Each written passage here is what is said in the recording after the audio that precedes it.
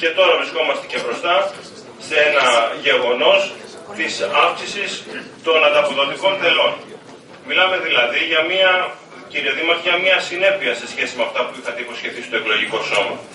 Και να σας πω και κάτι, το είπε και ο κύριος Καμπούρης προηγουμένως. Θα πρέπει να το ξανασκεφτείτε πάρα πάρα πολύ σοβαρά. Δεν ακούτε εμάς. Ακούστε την αδελφή σας παράταξη, όπως είχε υποθεί τότε στη συνέλευση, την Χιακή Συμπολιτεία, που σας εγκαλεί και εκείνη ακόμα.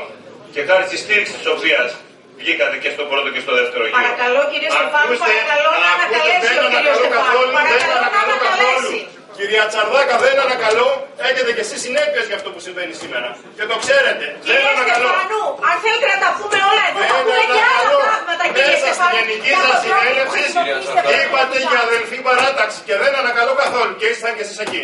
Μπορεί να μην το είπατε εσείς, αλλά υπόθηκε μέσα στη γενική σας συνέλευση. Και δεν ανακαλώ. Γιατί σκοποφέρετε ρε δεσμοί. Ε, κύριε Λαβρινόδη, Για να να τελειώσει ο κύριος τελειώνουμε, Στεφάνου, δεν παρακαλώ. ακούτε εμάς, ακούτε την αδελφή σας παράταξη, κύριε Δήμαρχε. Δεν θέλετε να το κάνετε, να το πάρετε εντελώ πίσω. Πάρτε το τουλάχιστον μέχρι να καταθέσει ο αντιδήμαρχος καθαριότητας την πρόταση την οποία έχει σκοπό να καταθέσει το Μάρτιο.